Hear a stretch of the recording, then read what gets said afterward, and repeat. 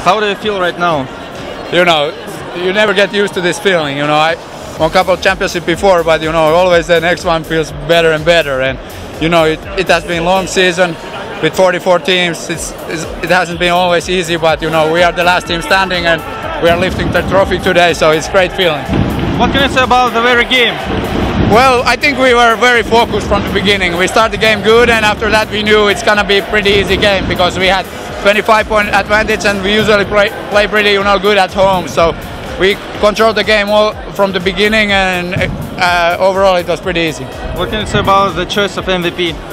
You know, Tyrese, you, he showed through all season how great player he is, and you know, he just continues to take those trophies. You know, but he's great, great player, and you know, he's the big part why we are here and why we won the trophy tonight. How do you feel to get back to EuroLeague with, with Visikim here? Uh, you know, that's that has been our goal every season, and I think also with this team, what we had this year, we could compete there uh, pretty good. But you know, now it's great feeling.